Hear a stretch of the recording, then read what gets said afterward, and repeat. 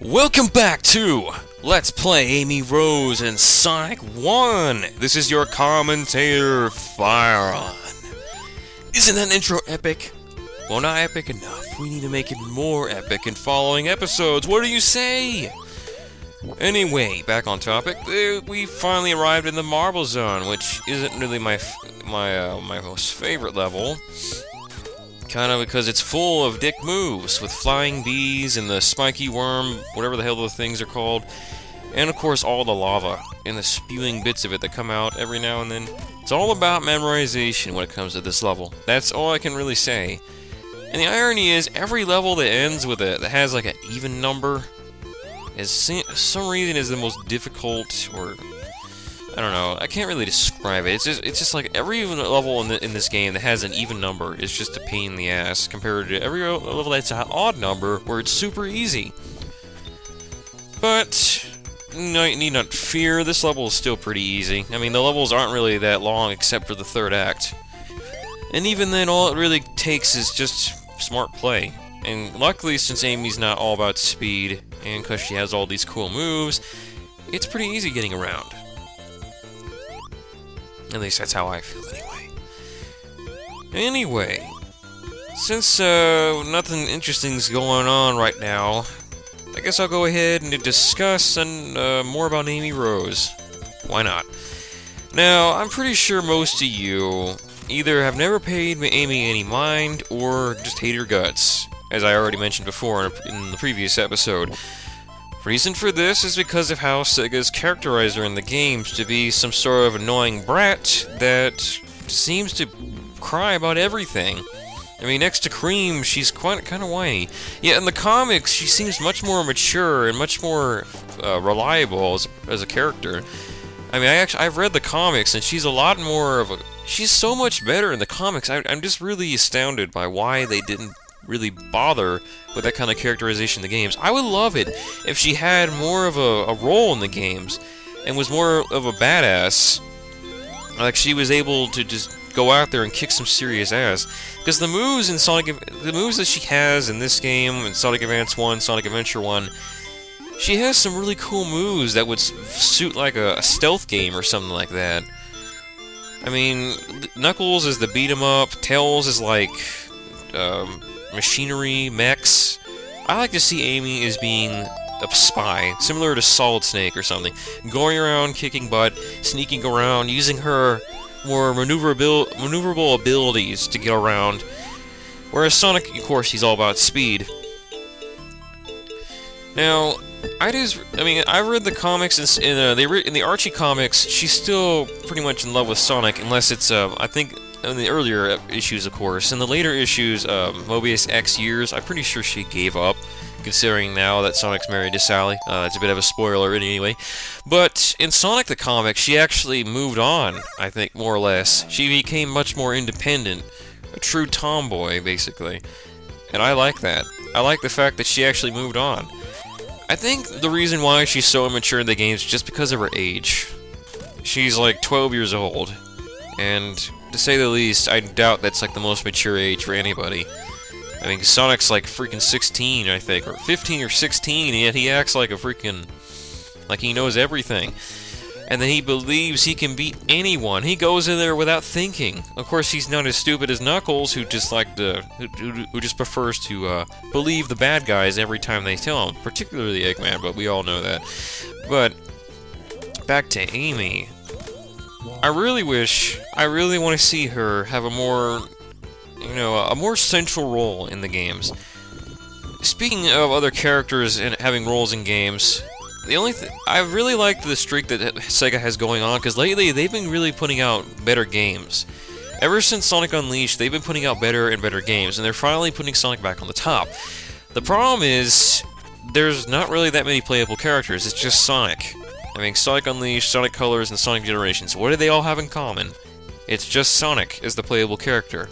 Granted, Sonic Generations gave you play uh, control over classic Sonic, but that's it. The thing is, I think the reason they got rid of the uh, play the playable modes of other characters is because there were probably complaints about that. Either that, or Sega just just felt unsure about that because I actually had a lot of fun playing as the different characters in the Adventure series. Sonic uh, Sonic Adventure 1, I enjoyed all of them except for Big. I hated Big's mode. I hated his gameplay. It was just so annoying. But Amy's, I actually liked Amy's because it was all about getting away from the bad guy and sneaking around and solving puzzles and all that jazz. Really fun stuff. It was a definitely definitely a cool break from uh, Sonic's fast-paced action or Knuckles treasure hunting and Tails basically racing the hell out of anybody. And, oh yeah, Gamma's awesome shooting gallery. And then Sonic Adventure 2 came, and she got pushed back into a minor role where she basically disappears in cutscenes. And although she still is kind of important in some ways, she doesn't really have that much importance anymore. Although she is playable in multiplayer, where she's practically the most overpowered character in the racing mode. I swear to god. 30 rings to basically free someone for 30 seconds. That's just cheap. Me and John, me and my brother used to make jokes all the time in Sonic Adventure 2 when I when we made Shadow and Amy race. We would call Amy the new Ultimate Life Form because of the fact that she could easily beat Shadow like it was no problem whatsoever. Even if she wasn't as fast, she just she just wiped the floor with him. I swear, it's it's sad. But anyhow, let's go back to talking about the reasons why Sega suddenly decided, hey, let's go ahead and dump all the other characters and make them pretty much impractical, unnecessary, minor characters in the Sonic games. I think it all has to do with Sonic 2006, in my honest opinion. Because, as if anyone know, as anyone might know, the Amigo gameplay in that game was awful. Just plain awful. For anyone who doesn't know what Amigo, what the Amigos are, basically they were little helpers in for the main characters in that game. Main characters being Sonic, Shadow, and Silver, and the Amigos for each of those characters were Sonic. For, for Sonic it was Tails and Knuckles. For Silver it was Amy and Blaze. And for Shadow it was Rouge and Omega. Now for the most part, uh, the uh, main character's gameplay was more or less playable aside from the occasional, rather unfair glitch. But Amigo gameplay, I mean, they just took it way too far. I mean, Knuckles was practically unplayable because he would get stuck to practically every wall, and no matter what direction you press the D-pad, he would still go in the complete opposite direction, or worse. Rouge, a little more fine-tuned, plus her glide didn't descend as sharply. Omega was probably the most playable, but going to the main character now of this game, Amy Rose, she was like in the middle. She was playable, but her abilities were like downgraded to the point where they were useless. And I think it was just more of a progress and hit things with your hammer ability.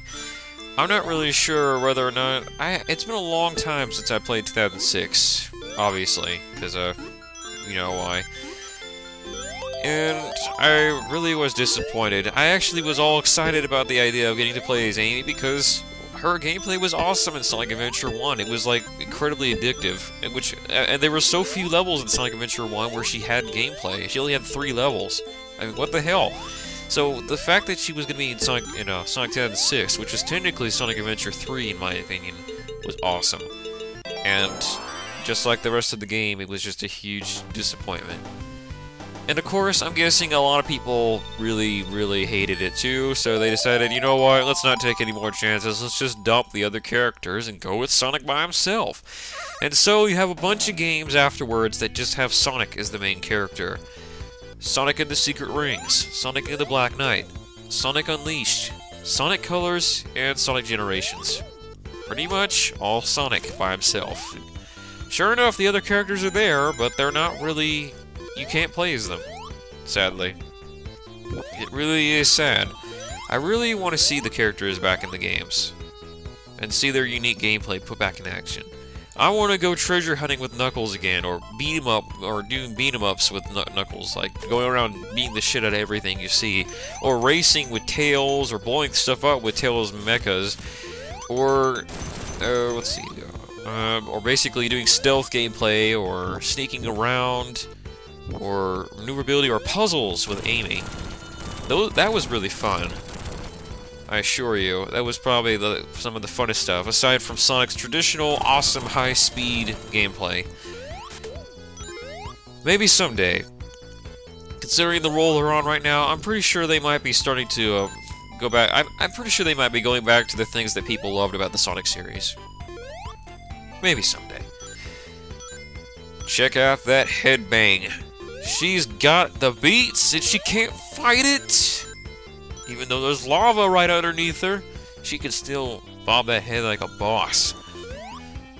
Speaking of which, we're getting rather close to the end of the zone, but it's still another four minutes or now, I think. So we, I think we got more time for whatever topic I have on the mind. Let's see. Let's see. Um, so let's talk about Sonic Advance, I guess. Sonic Advance. I had not gotten a chance to play any of the Sonic Advance games until somewhere when I was thir- no, not 13, actually, yeah, 13 or 14 years old. And I didn't get a chance to play the first two until I was 17. Now, I'll tell you straight up, I actually loved the Sonic Advance games, except for maybe the second or third somewhat, because they were just way too complicated terms of getting the Chaos Emeralds, and because they were way too fast-paced for my taste. Sonic Advance 1 was like the perfect mix of like new stuff and classic. It had this it had the slow platforming feel, but you could speed through stuff with Sonic or whatever, or go gliding with Knuckles, flying with Tails, or using Amy's awesome abilities that you see uh, that you're witnessing right now in this game right now. And I enjoyed playing as Amy. Unfortunately, though, they kind of traded out her some of her abilities for a spin dash in Sonic Advance 2, which was disappointing. Because then people started calling her basically just another Sonic, because that's basically what she was, another Sonic. She had basically the same exact movesets. She somewhat got her abilities back in Sonic Advance 3 because they they they traded it with uh, her partners, whoever she partnered with, because they would get their own Piko Piko hammers, among other things. And, yeah.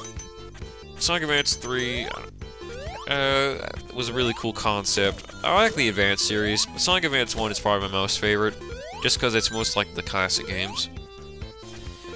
And of course, Amy's in there.